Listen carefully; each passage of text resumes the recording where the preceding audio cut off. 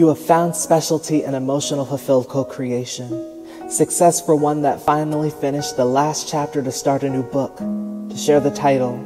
There was a mission that came rushing in, clever, intelligent. You weren't expecting this longevity. It made one pause for a moment to smell the roses, yet you stabilized a bit. Take rest at what is not the right time. A blow in the wind caused time to test this connection. A simple smile that lights up the soul. The melody that makes you tick. The feeling that your heart craves. It looks good on paper, thinks it's good for the mind, yet your spirit wasn't truly satisfied. You take a moment for introspection and search for a spark.